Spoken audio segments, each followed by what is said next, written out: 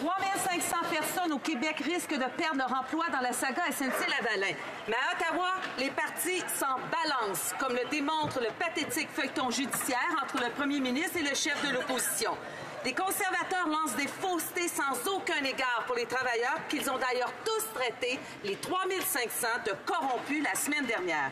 Et comment le premier ministre réagit à ce barrage de sottises? Alors qu'il se fait accuser d'ingérence politique dans un dossier judiciaire, eh bien, le voilà qui trouve le moyen de faire de l'ingérence judiciaire dans un dossier politique.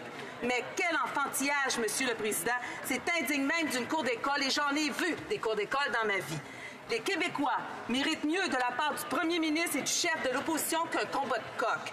Que les conservateurs cessent leur tapage partisan sur le dos des travailleurs. Quant aux libéraux, ben, qu'ils cessent leur cabotinage judiciaire et qu'ils agissent pour protéger les employés de SNC Lavalin.